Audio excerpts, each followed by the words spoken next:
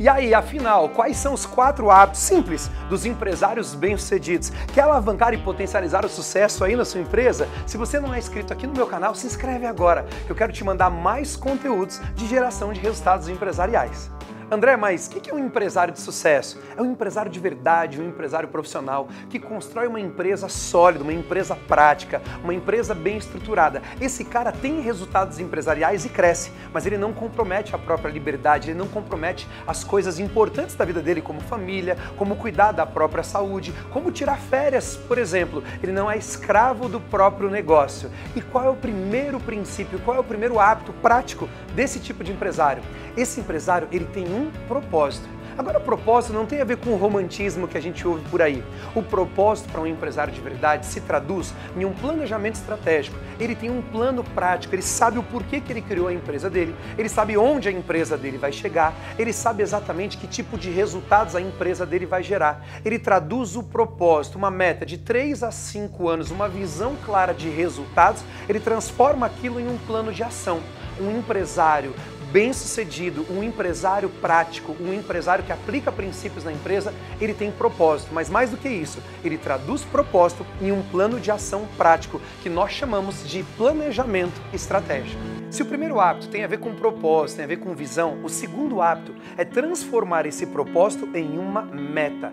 Um empresário bem-sucedido tem uma mente orientada para resultados. Ele tem metas da sua empresa, meta de faturamento, meta de lucro, meta de caixa, metas mensais, metas trimestrais, metas semestrais e metas anuais da empresa. Em alguns casos tem até metas para 5 ou 10 anos, mas a mente dele funciona por meta. Ele acorda de manhã e pergunta: quais são as metas que eu preciso atingir hoje? Ele reúne a equipe dele e estabelece metas poderosas para a empresa. O tempo todo ele é orientado, ele monitora, ele é motivado, ele é incentivado, desafiado pelas metas e pelos resultados que ele estabelece. O segundo hábito de um empresário bem-sucedido é ter uma mente, é ter hábitos focados e orientados pelos resultados. Agora, não adianta nada você ter um propósito bem definido, um planejamento estratégico. Não adianta nada você transformar isso em metas se você não tiver uma vida produtiva. Os empresários bem-sucedidos têm produtividade, têm uma agenda produtiva. O que é isso?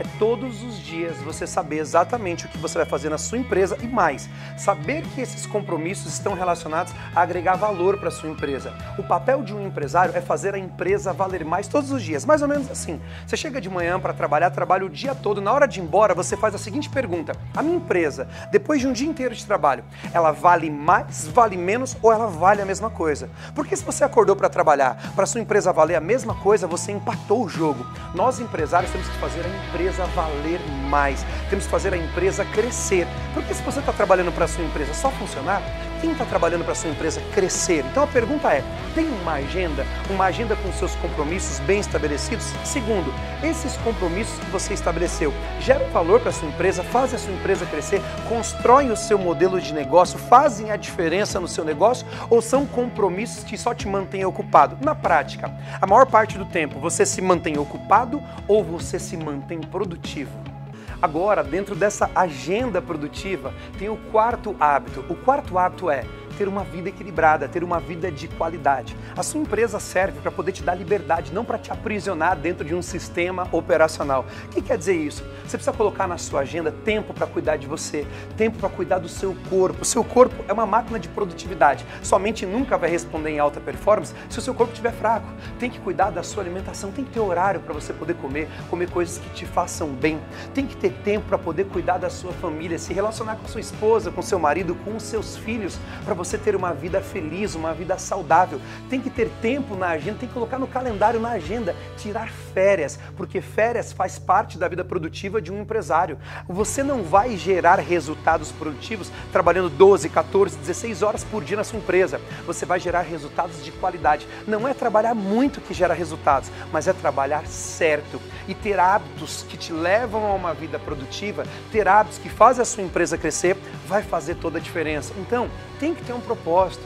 Depois tem que ter uma mente orientada para resultados. Tem que colocar tudo isso dentro de uma agenda produtiva, mas não esquecer do equilíbrio, da sua qualidade de vida, para que você possa continuar crescendo de forma ecológica, de forma saudável.